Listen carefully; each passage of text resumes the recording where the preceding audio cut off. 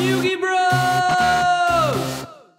What is up, my Yugi Bros? Today we got another top 10 of the cards I would love to see in Speed Duels. This time we're rocking it with Marik cards. I know, like I said, there's going to be character type cards as well as themes like Yugi, Kaiba, and Marik. So this time we're going to run around with Marik's top 10. So let's kick this off with an old fan favorite, and that is the Revival Jam package, consisting of Revival Jam, Jam Breeding Machine, and Jam Defender. So Revival Jam is a level 4 Water Aqua effect monster with 1500 attack, 500 defense, used ever so iconically in the Slifer the Sky Dragon duel, where Yugi got his first God card. Revival Jam says when this card is destroyed by battle and sent to the graveyard, you can pay 1000 life points, special summon it in face-up defense position during your next turn's standby phase. Now normally this isn't a very good effect, uh, because it only works with when it dies by battle, but it's similar to King of the Skull Servants in this sense that if it dies, you can bring it back. It doesn't come back immediately, it comes back on your next turn standby phase, but it does come back as a tribute for future turns. And paying 1,000 life points in 4,000 Yu-Gi-Oh! like I said again, isn't the greatest thing ever, but it is an iconic Marik card, and I could see this come over uh, with the God cards on the horizon. Jam Breeding Machine is a continuous spell card that says during each of your standby phases, special summon one Slime token, Aqua type, Water level 1, attack and defense 500 in attack position. You cannot summon any monsters except Slime tokens, but you can set. So when you use it, unfortunately you can't summon anything else, but you can still set. Uh, this card is very, very niche, but I don't see Revival Jam coming over here without Jam Breeding or Jam Defender. Uh, and again, it hones in the ability of tributing for the god cards. Lastly, we have Jam Defender, which is a continuous trap This is when an opponent's monster declares an attack on a monster you control, you can target one Revival Jam you control, switch the attack target to that target. So if you have a monster on the field that you don't want to get attacked and you have a Revival Jam, you can redirect the target to Revival Jam. Unfortunately, unlike in the show where Revival just comes back immediately, it's not like you can redirect the attack to Revival Jam, have it be destroyed, bring it back immediately, and have, you know, it be a target for all of the attacks in that turn. Uh, unless you had multiple Revival Jams, I guess. But, you know, it goes with the package, so it makes sense why it would come over in that package deal as well. Uh, speaking of package deals, the next card I have on my list is Masked Beast Des Gardius. Now, this card is paired with a card called the Mask of Remnants, and it needs one of two monsters to be tributed for it, either Melkid the Four-Faced Beast, which we actually already have in Speed Duels, or Grand Tiki Elder, which we do not yet. So I expect Grand Tiki Elder to come over. Uh, we had a Marik structure deck recently, which had Melkid in it. Had actually a lot of Marik cards, so it was a little tougher to make this list. Uh, but uh, then we would also need the Mask of Remnants. Uh, Mass Beast Des Gardius is a level 8 Dark Fiend with 3300 attack, 2500 defense that says this card cannot be normal summoned or set. This card cannot be special summoned except by tributing two monsters, including at least one Grand Tiki Elder or Melkid the Four-Faced Beast. So you need one of the two to summon it. Uh, but it does count as a special summon to summon this, which is nice. And then when this card is sent from the field to the graveyard, you can equip one Mask of Remnants from your deck to one monster on the field. What's cute about Mask of Remnants is it normally says when you activate it, it shuffles this card into the owner's deck, so it does literally nothing except put itself back in the deck, or, if this card was put into play by the effect of Mass Beast Des Gardius, this card is treated as an equip card, and control of the equipped monster is switched. So if you put it on an opponent's monster, it goes to your side of the field. If you put it on one of your monsters, it goes to your opponent's side of the field. So you can do a decent amount of different strategies with a card like this. Um, and obviously it's exclusive only to Mass Beast Des Gardius, but you would definitely have to bring it with Des Gardius if you bring both into speed duels. The next card I have on my list is a continuous spell by the name of Temple of the Kings. For all you older players that are going to go crazy, trust me, this isn't as bad as you think. This card was errated. It's a lot fairer than it used to be. Now it says you can activate one trap card the turn it was set. You can send one Mystical Beast Serket in your monster zone, and this card you control to the graveyard. Special summon one monster from your hand or deck, or one fusion monster from your extra deck you can only use each effect of Temple of the Kings once per turn. So it's not like you can set every trap card and immediately activate it, but you can set and activate one trap card a turn, which is still decent, I think, in something like Speed Duels. But also, if you send this and Mystical Beast of Serket to the grave, which is actually the next card on my list, uh, it's kind of like a package deal once again. If you send both of these to the graveyard, you can special summon any one monster from your hand or deck or one fusion monster from your extra deck for free. So keep in mind, if you special summon a fusion monster from the uh, fusion deck and it's destroyed, you can't bring it back with any type of reborn type thing because it wasn't properly fusion summoned. Uh, but you can bring like almost anything you want out from the extra deck immediately or any monster you want from the hand or deck as well. And I could see this actually being somewhat competitive depending on the deck you play it in, just because you can activate a trap the turn you play it, and you get the second effect where you have Mystical Beast Serket. Now, do you have to play Serket with Temple of the Kings? No, but you do have to play Temple of the Kings if you're playing Mystical Beast Serket. Otherwise, this card is immediately destroyed. This is a level 6 Earth Fairy, 2500 attack, 2000 defense. If you do not control Temple of the Kings, destroy this card. There you go. Banish any monster destroyed by battle with this card. So assuming you have Temple on the field, banishes anything it battles, which is really, really cool. Also, if this card destroys a monster by battle, it gains 500 attack. So this card can get relatively big pretty quickly, at least in speed duel terms. Um, obviously, again, you wouldn't bring this over unless you brought over Temple of the Kings as well, but I don't think they'd both be insane. I think Temple of the Kings would actually create some really cool combos as long as Burn doesn't abuse the heck out of it. The next card I have on my list is a continuous spell by the name of Vengeful Bog Spirit. This card simply says monsters cannot attack the turn they are summoned. It's a continuous spell, so as long as this is out, um, everything has summoning sickness, basically. And I think that's really nice. Uh, we need a little ways to slow things down, especially if we want to build a tribute summonable board for our god cards, quote unquote uh, that you know we're going to be getting in this. That's the whole point of this box. Uh, so one way to slow down both you and your opponent and build up some actual defense is having it so neither monster can attack the turn it is summoned. That's interesting. Uh, I think this would slow down the game a little bit. Not that the game needs to be slowed down. I know the game point of the game is called speed duels, but you know, this is okay. This would be perfectly fine. I don't think this would be OP. I think the only time this would get kind of chaotic is if the other card that I'm about to reveal on this list, Nightmare Steel Cage, also came over. I don't know if I expect both of these to come over, but I see one, if not the other, uh, and it might just be Steel Cage. Uh, Steel Cage is a normal spell card that says this card remains on the field for two of your opponent's turns, so it acts like a continuous card, but it's not. While this card is face up on the field, no monsters can attack. Kind of similar uh, Bog Spirit's only when everything's summoned. The turn they're summoned, they can't attack. Whereas Nightmare Steel Cage is like a Swords Revealing Light, but it works for both players for two turns, uh, and then it's destroyed. Uh, but while it's face up on the field, no monsters can attack.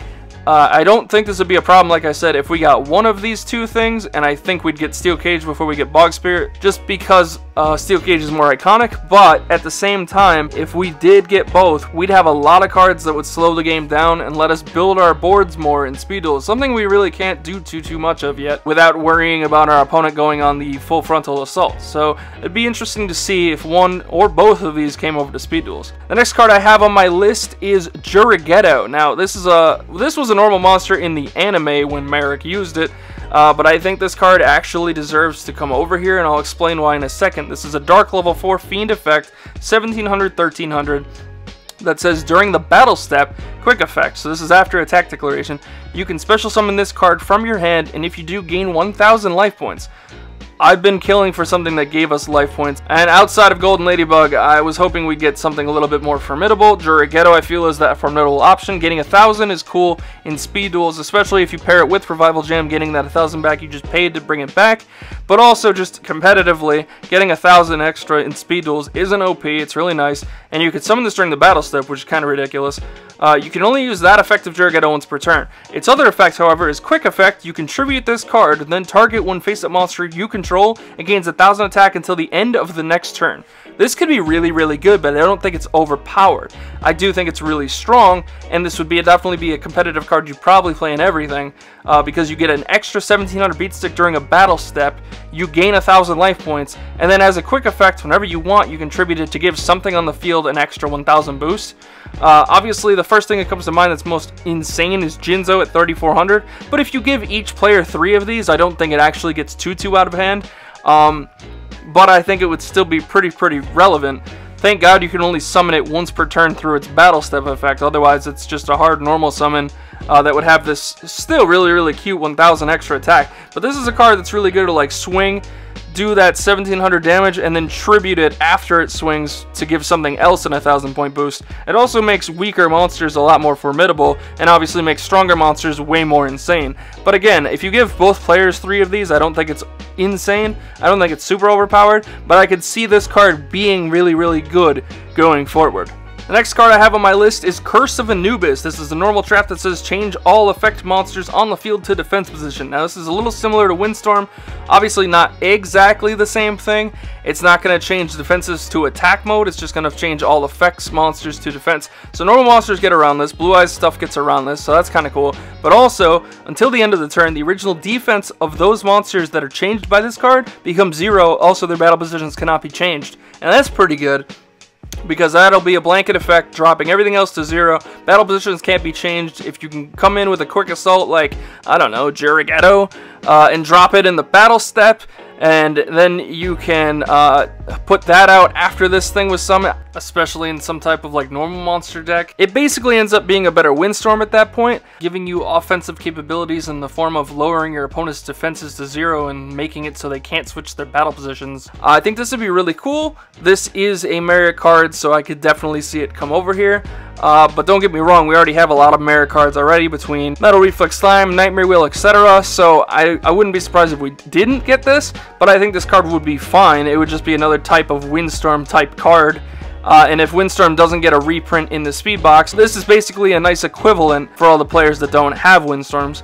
Uh, and has a little extra effect of dropping everything to zero which you know allows you to play other things as well kind of get over big beefy beat sticks especially when they're in defense at zero uh, I'm just saying you know moth blue eyes something like that you know whatever uh, the next card I have on my list is a normal spell by the name of tribute burial this card says you cannot special summon for the rest of the turn. Once during this turn, you can conduct a tribute summon that requires two tributes by banishing one monster from each graveyard instead of tributing it is still treated as a tribute summon. So this is cool for everything that's two tributes out there. I know there's not a huge amount that we're playing competitively right now, uh, but there might be a little bit more after this card if it came out. Uh, allows you to banish two monsters, one from each graveyard, to use as its two tributes, which is kind of interesting. I think something like Blue Eyes could get a kick out of this, as well as being able to banish a monster from your opponent's graveyard. Uh, and then, you know, you can't special summon for the rest of the turn, but it lets you conduct a tribute summon. So like if, if you already normal summon slash tributed summon that turn, this is a second one. So you could drop something else onto the field. Uh, it makes all those two tribute monsters a little bit more formidable. And I just think it's a really cool card. I'd love to see it come over to Speed Duels. Uh, the last card I have on my list is Holding Arms. Now I have this last because this might be insane, but I also think Juragedo might be insane, and I have honorable mentions that in my opinion are way more insane than my top 10 list. So let's talk about holding arms for a second. This is a level 4 Dark Fiend Effect, 500 attack, 1200 defense. Keep in mind this is not holding legs. Holding legs was the one that actually saw competitive play in regular Yu-Gi-Oh! Uh, no, I think that's a little too strong for this game, and that's not an honorable mention on my list. Instead, we have holding arms. Holding arms says, this card is normal or special summoned, you can target a face-up monster your opponent controls while this card is face up on the field, that face up monster cannot attack, also its effects are negated. While that face up monster is on the field, this card cannot be destroyed by battle or card effects. So to give a most generic example, if your opponent has like a Jinzo on the field and you have all these traps you want to play, you can normal summon Holding Arms, target the Jinzo. The Jinzo has its effects negated and it cannot attack, while this card is face up on the field, and while Jinzo is face up on the field, now Holding Arms can't be destroyed by battle or card effects. That's pretty interesting. Your opponent then has to kind of go out of their way to get rid of their Jinzo if they want to get rid of your holding arms, or get rid of your holding arms by not destroying it by battle or card effects, which is, you know, at that point, I think you just have Gale Lizard currently, and maybe one or two other cards I'm not thinking of off the top of my head, and that's not many options. So, it, it makes for I don't think negate effects like effect veil or breakthrough skill should come over to this game yet. I think that's I think it's been nice to allow your effects to resolve. Uh, but a negate effect in the form of a normal summon uh, or a special summon, you can special summon this, uh, I think is a bit better. I don't think it's overly powered, but I do think it's a good way to start implementing some type of effect negation into this game. But I guess we'll have to wait and see what the Speed Duel box has prepared for us for that situation. The last card I have on my list before we get to the honorable mentions, is a normal trap card by the name of Relieve Monster.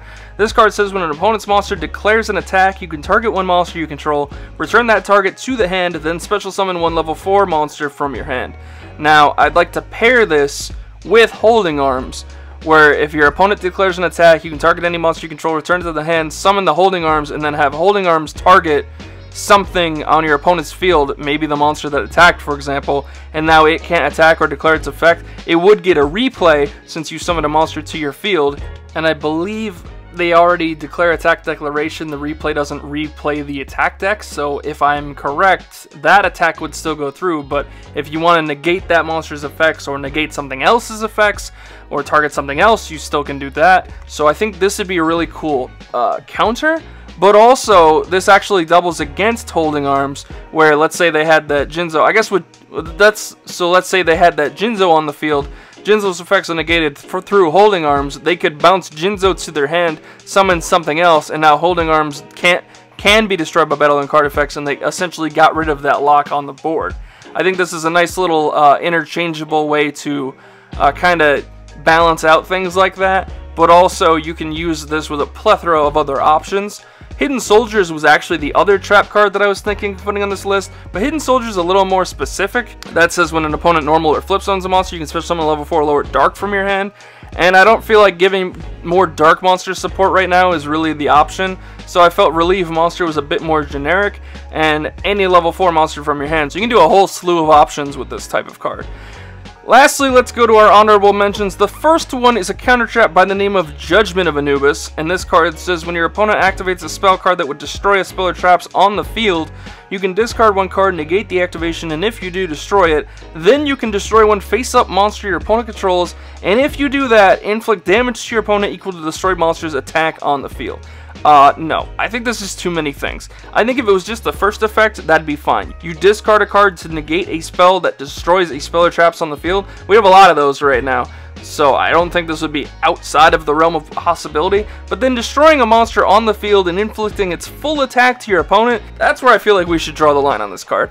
That's a bit too strong. I think we're fine on the amount of burn cards we already have in speed duels. We don't need any more. And this doing the full attack, not even half the attack. If you negated uh, your opponent, I don't know, double cycloning something on your field and their field, or twistering something on your field, and uh, by discarding, negating it with Judgment of Anubis, destroying it, then destroying a moth on their field, doing 3,500 to their face, I don't really feel that's really fair. So, and yeah, I get this as a trap card. Yes, I get Jinzo's coming up, but I don't, I don't know. I think this is a bit too strong.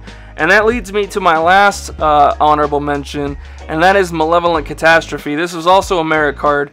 This definitely shouldn't see the light of day in Speed Duels for a long time, but I get that this could be really, really strong. And this card simply says, when an opponent's monster declares an attack, destroy all spell and traps on the field. We don't have a main phase 2 in Speed Duels, so if you attack with 3 back row and you run into this, you just got heavy stormed, uh, and you have no way to recover from it, you're going into your opponent's turn. I think that's a bit too strong. I don't think we have enough options to stop this yet. Maybe in a few sets, if we get more ways to deal with this, one of these two can come over. I will say that if this is in the format, once you know it's in the format, you're obviously playing around it by either not setting all your back row or you're popping as much back row that they have before you go into your battle phase, or have something that like stops trap cards before you go into your battle phase. So I'd say this is easier to play around than Judgment of Anubis, but that's not going to change my opinion of it. But guys, let me know in the comments down below what you think. Uh, do these all justify out, or do you think we could uh, change it up a little bit? Or is there anything that's too strong? Do you think Juragedo or holding arms is uh, too good, or maybe Catastrophe or Judgment of Anubis is a little bit too OP, or is it just fine? Let me know in the comments down below. Comment, like, and subscribe as always. Click that notification bell to get all of our latest updates. And I hope to see all of you in the next Yu-Gi-Oh video. Alright guys, I'm out.